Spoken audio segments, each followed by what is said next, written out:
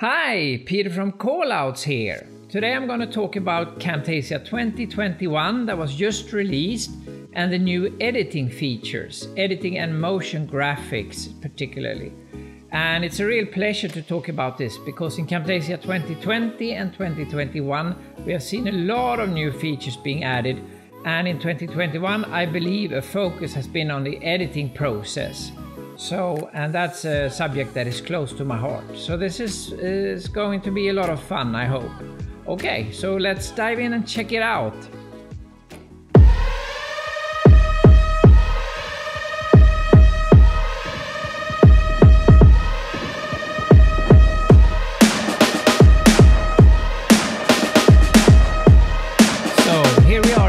Camtasia 2021 and we have a couple of other features besides the editing and motion graphic features. We have a new startup screen, we have a new recorder that was a little bit simplified than the previous recorder and it's not yet finished so I suggest you keep a copy of uh, an older version of Camtasia, Camtasia 2020 or so when you're working to use the older recorder. You can access the older recorder in 2021 too but it's easier to just go through the Camtasia 2020 recorder.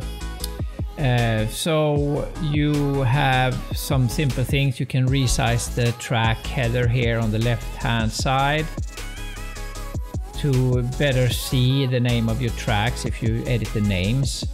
Uh, you can only edit it this far or change the dimensions this much, so it's not a huge difference you have a default placeholder uh, timing. If you go to edit, now it's outside screen here, but edit preferences, timing, the uh, placeholder, you can now set the, so if you add a placeholder here, it's going to be in that default time.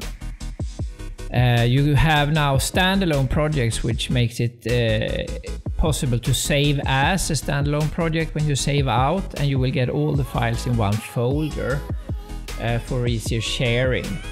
And then we have a couple of audio features, which I can cover a little bit because it's really connected to editing as well.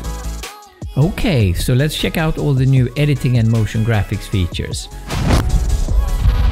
First out, we have more than 75 new transitions that have been added, and they're wonderful. Lots of great new stuff.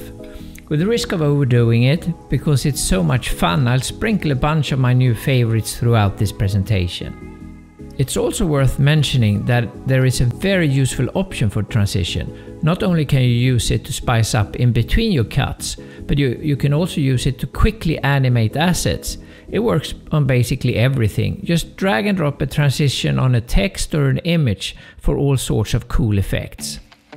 And don't forget the new feature from version 2020, the reverse the transition, which kind of doubles the amount of transitions you have at your fingertips. And lastly, a new functionality to temporarily disable transitions has also been added. Track mattes was introduced in Camtasia 2020, but some users found it difficult to use, so in 2021 a new effect has been added that makes it a lot easier.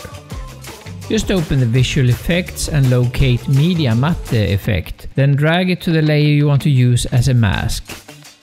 This can be animated, used on text and all the other good stuff as usual. You're also able to see layers placed under the masked layer. We also got a cute new effect called corner rounding. Just drag it to the layer and adjust the radius and which corner that should be rounded off. And if you want to see how it looked without the applied effects, just use the new toggle effect on and off button and you can see how it looked before and after you apply something. Custom colors is an old and missed functionality. Now it's back again. You will find it under the color picker and it's easy to just add and delete colors from your favorites. A new add exported frame button has also been added which instantly takes a snapshot of your canvas and saves it in the media bin. Super helpful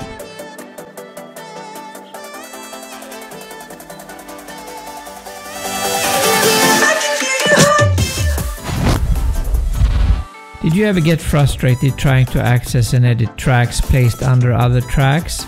Now you got a great new feature called Solo Track. Just set a track to Solo Track and you can directly edit without trying to lock or hide layers above. Another helpful improvement is the scrubbing of video files in the media bin. Just place the cursor above a video in the bin and move it left and right to see a video preview. The motion blur effect is finally here. When working with graphics in motion, motion blur helps make animations look more realistic, imitating our eyes. And now you can use that effect in your Camtasia animations. It's very easy to use. Just pick up the effect in the visual effects and drag it to any moving layer. You can then edit the intensity of the motion blur in the properties. Usually leaving it at 100% will be just fine. I did a lot of tests and I could not see any difference in motion blur from around 30 to 200% at any speed, but you can decrease the motion blur slightly between 1 and 30%. The shorter you make the animation, the more motion blur you will see. Also note that motion blur only affects assets that move across the screen, but you will not be able to add motion blur to a pre-rendered video and see motion blur effects in it. I'll illustrate it with this little video. As you can see, nothing changes with or without motion blur in the video, but when you add a movement to the file itself on the canvas, that is affected by the motion blur. Proxy video, another great feature. When you work on larger files, longer videos or 4K videos for example, there is a lot for Camtasia to keep track of and previews etc can become very sluggish. That's when proxy videos become useful. When using proxy videos, Camtasia creates a lower resolution copy of your original video. And when you render out your video, it will use the full quality for your render. So by using proxy videos, you get 100% of the quality with faster editing. I have run this through some heavy testing for clients with 15 gigabyte video files and it worked perfectly well. To create proxy videos, go to the media bin, right click on the file you want to create the proxy for and choose create proxy video. A green line will appear to show you that the creation is in progress. And once it's done, a yellow dot will indicate that you're working on, on a proxy. After you're done, be sure to delete your proxy files unless you need them for another project, as they will be saved on your hard drive. Believe it or not, we still have some of the great new features still to go over, so please stay tuned. And if you liked this video and would like to see more tutorials and videos about our Camtasia assets on callouts, please subscribe to our YouTube channel. And if you have any questions or anything like that, please comment below. This is new for the PC version and can be a little bit confusing at first, but once you get the hang of it, I think you'll appreciate it. Instead of opening the group on your regular timeline, a new tab is open with the contents of your group. This makes it easier to edit and clearer to see. Just click the group, the plus sign, and the group opens up in a new tab. You can now edit the group contents individually. The small downside is that if you want to copy new elements into the group, you have to jump between the timeline and the group using copy and paste. You cannot drag items into the group or onto the group tab. To edit the duration of the group, you also have to go to the timeline. And while we're working on groups, let's take a look at the fantastic new addition of editable quick properties. I have a small group created here, or rather two layers, two tracks, one text and one shape background.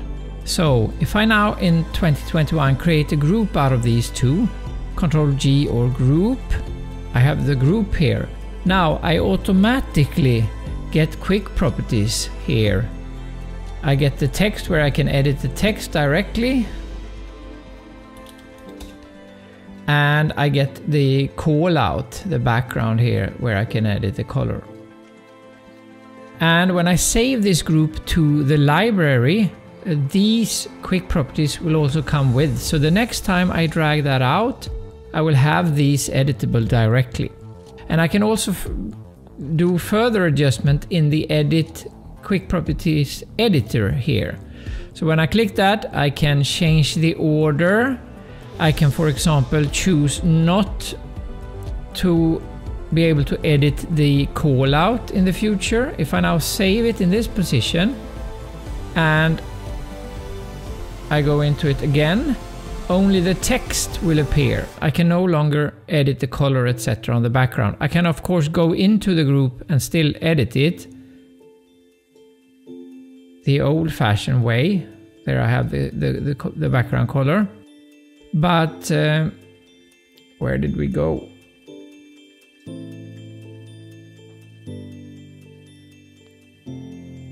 But if I'm here out here on the main timeline, let's bring this one back. I click the plus sign. I want to have the text above. You can also edit the little tags for them. Enter text. And there you have enter text now, rectangle and call out. So that's a very quick way to, to have your own quick properties set up for your library assets in the future. And this is just great for recreating reusable content for yourself or your organization. And we in callouts uh, use this extensively now when creating templates for Camtasia for our customers and clients because this just simplifies and speeds up the usage of templates. So that's that. Lottie files are small graphics and animation files. Camtasia can now accept importing these just by dragging and dropping them onto your timeline. They are transparent and you can speed up, animate them, etc. There are several sources online where you can find free Lottie files and I'll share them in the description. The advantage of Lottie files compared with video animation and GIF files for example are that they are incredibly lightweight. Please note that most of the files I found are free under an attribution license, which means that you have to mention the source. Previously you could zoom in and out of the canvas using the scrolling wheel and the canvas would stay centered. Now the zooming depend on where your cursor is located. You will zoom towards the cursor's location. The jury is still out on whether this is good or a bad addition and it definitely takes a bit of getting used to. You can judge for yourself if you like it or not. If you end up with the canvas in a position you don't want, just hold down the space key to access the panning feature and drag the canvas into the position you want to have it.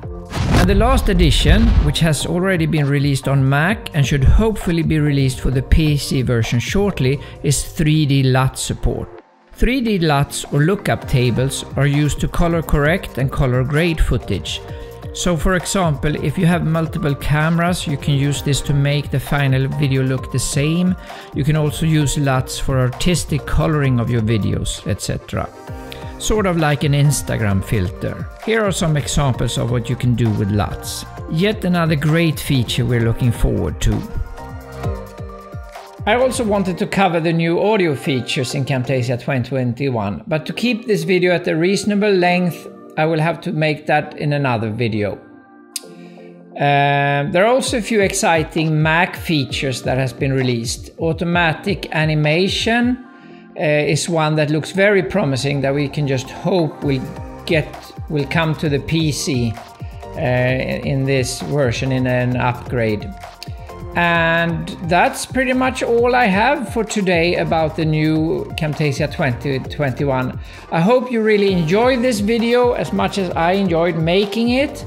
And if you like it and want to see more, please subscribe, like it, and if you have any questions, just comment below. Okay, see you soon. Thanks for watching.